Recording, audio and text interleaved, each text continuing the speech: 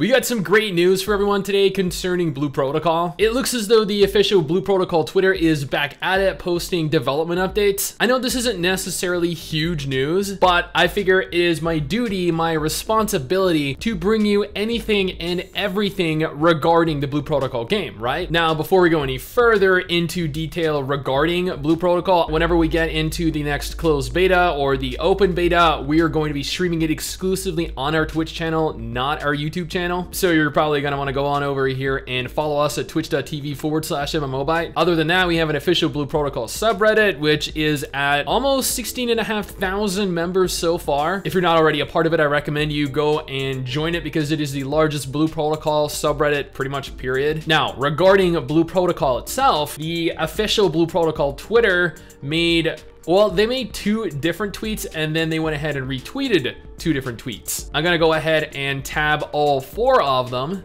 and we're gonna take a quick look at each one. The first one reads, deliver the latest development information. This time we will introduce a function that allows you to adjust the angle between the eyes and the eyebrows. If the eyes change, the impression of the appearance will change suddenly and the range of the character creation will definitely spread. First, start with a male type character and then they're going to go ahead and do the female character, I'm assuming. And this is pretty much, I know this, this isn't necessarily the news you were hoping for, but they are providing additional eye, additional additional brow customization options, or not even necessarily customization options, the ability to adjust between that area of your face. Now concerning the female one, next is a female type character. The eyes and eyebrows used in the video were all the same parts, but the angles have been changed with the angle adjustment function. So yeah, these are the same eye styles and eyebrow styles. And I know I did a character creation video on Blue Protocol initially when we got into the closed beta,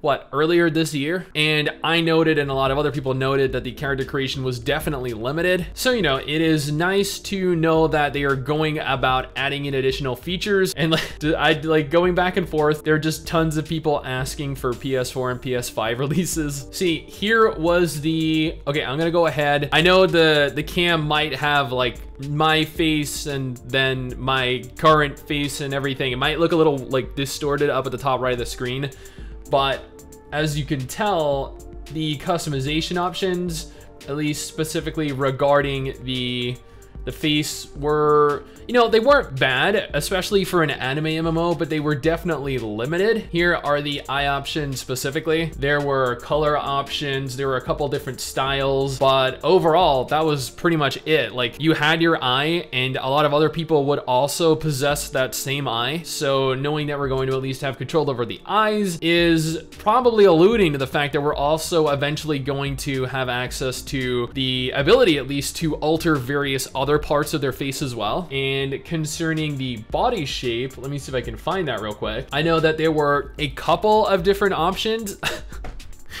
I, I, I, swear I did not plan to stop at this point specifically, but there were various different uh, parts of the body that you could edit. Weren't really that many, but knowing that they have put such an emphasis on at least the eyes leads me to believe that they are going to provide more customization options overall. And then the other two tweets were pretty much just, I don't know, news coverage. Now, to me, this is a step in the right direction because I know how integral it is to allow people to highly customize their own character. I know that fashion, that transmog, that glamour, outfits in general are a very important part of pretty much every MMO. It provides a sense of originality and personality that is exclusive to you. And I am glad to see that we're going to have additional options, whether they be specifically focused on just the face or the body overall, or they're listening to the feedback of the community and they're going to introduce additional outfits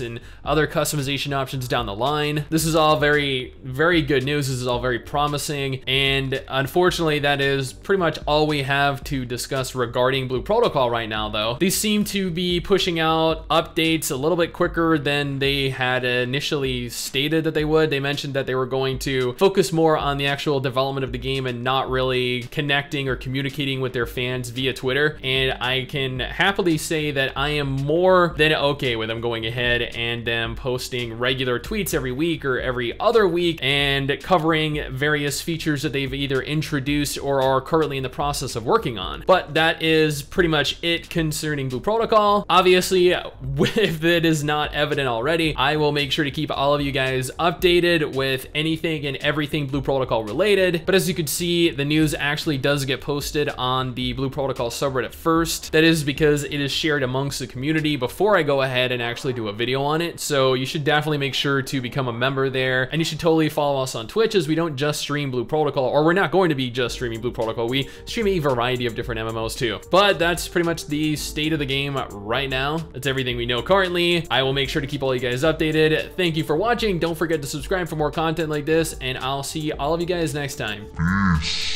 Someday soon, I'm gonna make.